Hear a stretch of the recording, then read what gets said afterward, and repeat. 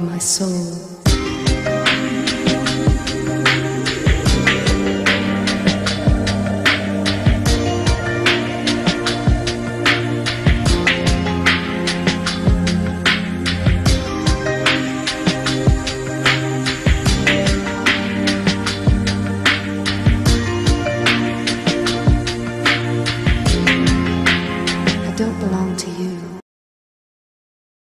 Piano.net a Tanasol Blu, oggi siamo qua con il capitano del Modena Armando Perna. Ciao Armando, grazie per essere qui con noi. Ciao, ciao, grazie per l'invito, è un piacere essere qui con voi a, a fare due chiacchiere. Due chiacchiere fra amici e con te volevo parlare, visto che c'è stata questa decisione eh, presa diciamo insieme col Modena di non continuare il rapporto col Modena stesso, volevo parlare di, con te di questa decisione che ci vede abbandonare un personaggio importante come No, diciamo che avevamo delle idee, di, io volevo continuare a giocare, la società ha fatto altre scelte, quindi non ho avuto la possibilità di continuare col campo. Mi hanno proposto un ruolo al settore giovanile, io ho fatto altre considerazioni, altre riflessioni e ho detto di no. Però è un rapporto sano che, che è soltanto un piacere, cioè, ringrazio la società perché mi aveva dato questa possibilità anche. Quindi diciamo che il rapporto si conclude in maniera positiva comunque, Sì. non sono state accredini. No, no, no, eh, po- molto positivo, credo che a me Modena ha dato tanto sia a livello professionale che a livello morale, quindi poteva essere, credo che la gente matura, intelligente e un confronto ne esce sempre con il giusto equilibrio, il giusto mix per continuare magari un domani ad averne altri. Assolutamente. Armando, mh, 345 presenze nel Modena Coppa Italia compresa. Diciamo che se non ci fosse stato un mostro come Renato Braglia, te saresti rimasto nella storia come il giocatore con più presenze nella storia del Modena. Quindi direi Diciamo che Renato Braia è stato il primo mostro perché fa quasi 500 partite con questa maglia che ne ha fatte tante. Il secondo mostro è stato Caliendo quando mi ha cacciato via. Infatti volevo farti anche una domanda dopo riferimento Perché magari, magari se non ci fosse stata quella parentesi lontana da Modena che è stato 5 anni, magari la media di 30 presenze l'ho sempre fatta all'anno, riuscivo a raggiungerla. Però credo che è già un traguardo importante che ho raggiunto con questa maglia. è proprio in riferimento a quello che dicevi prima rispetto al- a, a volte che te ne andasti da Modena, che nel secondo anno di Novellino andasti al Padova di Marco Lin, che cosa è successo? Sei andato via di tua spontanea iniziativa No, o no, il motivo no. è stato un altro? No, il motivo è stato un altro. Io avevo un accordo con eh, la vecchia società, avevo due anni più l'opzione per il terzo. E alla 25esima presenza che raggiunto il secondo anno avevo in teoria il rinnovo. Caliendo quando subentrò a, a Casari disse che non c'era problemi, che tutte le parole sarebbero state mantenute e quindi io durante l'anno, quella fu una delle mie stagioni, forse la mia stagione in Serie B con questa maglia, non, non- non andai nemmeno a domandare in società il rinnovo perché per me la parola vale più di qualsiasi altra cosa. Arrivato a fine campionato la società mi comunicò che non riscattava, non riscattava l'opzione, che non, non avrebbe rinnovato il contratto. Quindi andai molto deluso via da, da Modena perché non me l'aspettavo proprio. Poi la società che tutto l'anno, essendo il capitano, mi parlava quasi tutti i giorni per, per tenere unito il gruppo, per non creare problemi mai. Infatti fu un anno, credo, abbastanza bello, importante per tutti. Però arrivò questa decisione lì diciamo che ci rimasi male. Quest'ultima, a differenza di quest'ultima decisione che, fu, che entra, da entrambi i lati con due, due prospettive differenti, quelle del Modena attuale. Dopo quella decisione tu andasti appunto al Padova di Marcolin, poi hai un po' girato per poi tornare a Modena la, scorsa stagione per la ripartenza del Modena che doveva vedere un Modena vincente il primo anno subito e come mai l'anno scorso Modena non ha vinto un campionato nonostante che era nettamente a nostro parere la squadra più forte del campionato. Guarda, ci fu questo girovagare da parte mia, poi quando Tosi venne a vedere una partita Reggiana Mestre già stava lavorando per il nuovo Modena, mi chiamò subito io non ci pensai due volte ad accettare questa proposta, perché tornare a Modena, tornare a casa, perché questa, me questa città mi ha adottato e mi sono fermato a vivere qua, era la cosa che più desideravo. La categoria non mi faceva paura e quindi ho accettato subito. L'anno scorso secondo me eravamo la squadra più forte, confermo la tua idea, però c'è stato qualcosa secondo me non abbiamo sfruttato soprattutto a livello tecnico, tattico, tutte le nostre potenzialità. Quindi magari ci sono stati non degli errori, perché... ma gli errori diciamo che fa anche bene nella vita. Secondo me essere più, potevamo essere più offensivi, mettere più punte dentro, magari sta qualche scelta errata. Non dico di giocatori, secondo me. E adesso se mi permetto io di farti questa domanda, eh, tu pensi che la decisione dell'anno scorso a metà campionato di cambiare il mister, di cambiare allenatore, è stata una scelta giusta o poteva anche non essere fatta? Guarda, io credo che ci poteva stare perché noi a novembre eravamo a più 9 punti, 10 punti dalla pergoletese e cominciavamo a stentare, ma soprattutto cominciavamo a fare fatica e quindi ci eravamo diciamo, fatti recuperare questi punti di distacco con una partita anche quella, l'ultima quando siamo arrivati a pari punti veramente è stata una brutta partita col Carpeneto, quindi un cambio, una svolta ci voleva e la società ha fatto questa scelta, quindi credo che ci poteva stare, perché alla fine è normale quando le cose vanno male sono sempre gli allenatori a pagare, perché è più facile cambiare un allenatore che 20 giocatori. Un giudizio sulle due giornate, le due giornate, le due partite con cui, con cui l'allenatore è stato Roberto Malverti?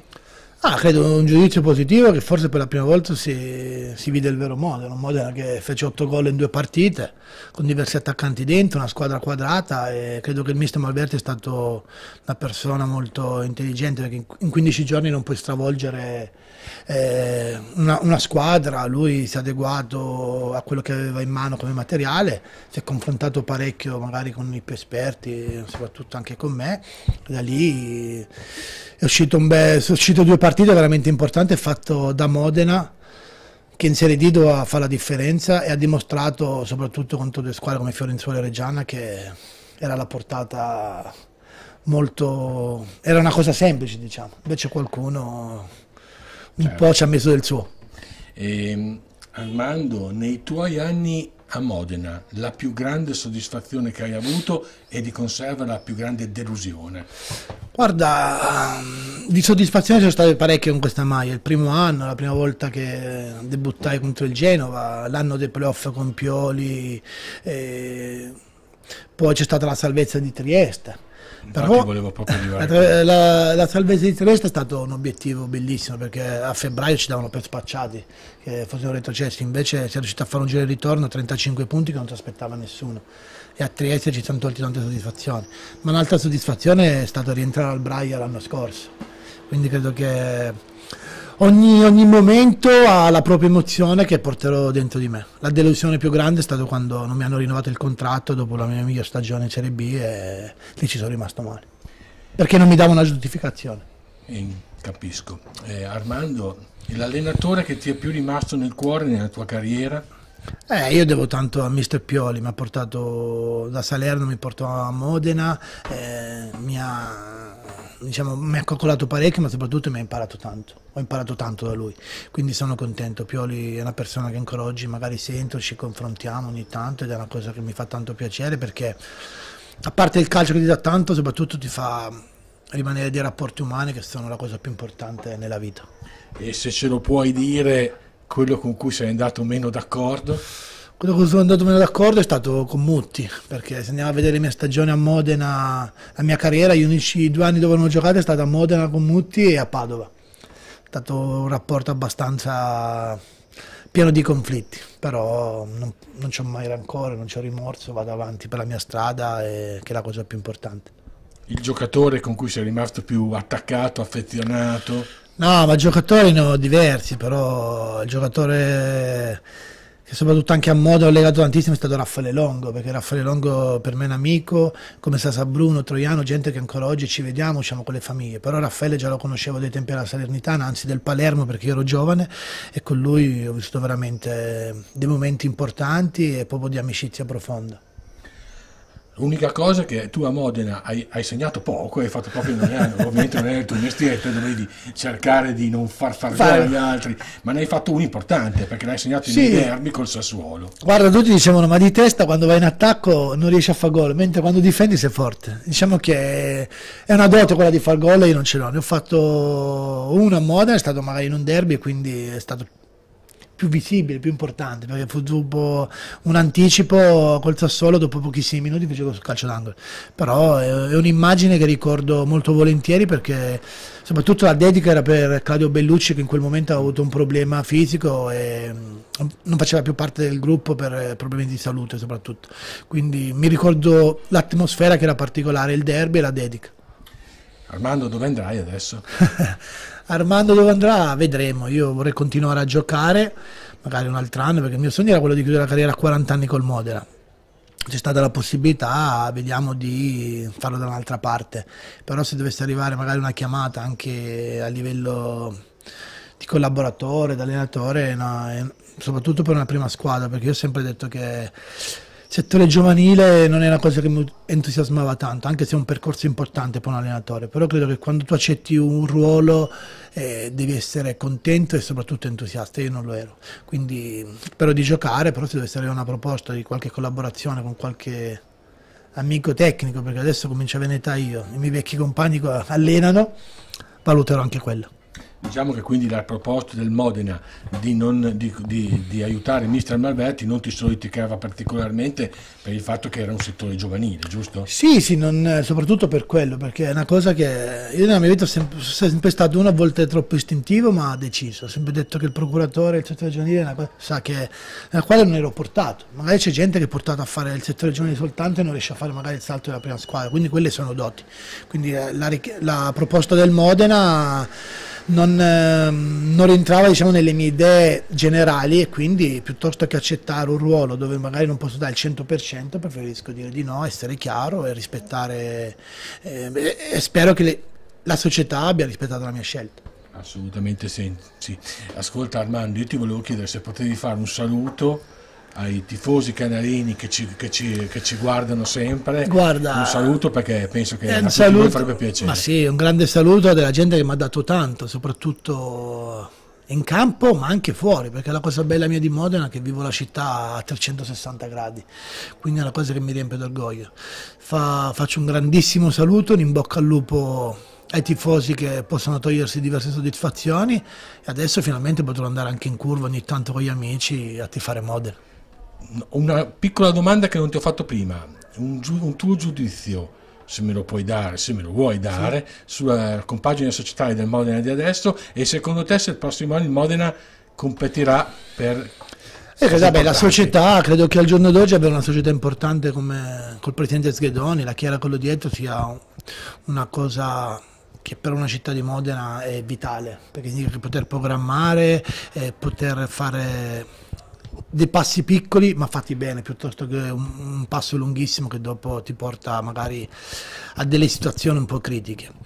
Credo che il Modena ha la possibilità e la capacità per poter stare tra le prime della classifica perché l'ha anche dichiarato il direttore generale, il direttore sportivo, quindi questo è una cosa che mi fa moltissimo piacere. È normale che vincere non è mai facile, quindi ci vorrà un po' di pazienza e soprattutto come sempre ci vorrà l'appoggio della gente allo stadio.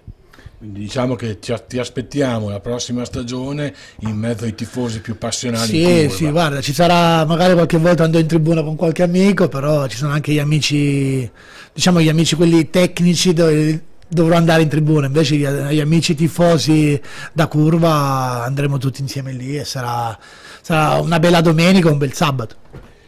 Armando, grazie di tutto, grazie per tutte le tue stagioni a Modena e arrivederci il prossimo anno allora. Allora vi ringrazio, ringrazio Modena la città, ringrazio Modena Tifosi, ringrazio Modena le società che in questi 11 anni mi hanno accompagnato e ci vediamo presto e arrivederci soltanto questo. Arrivederci, arrivederci, grazie ancora. Armando. Grazie, ciao ciao, grazie a voi.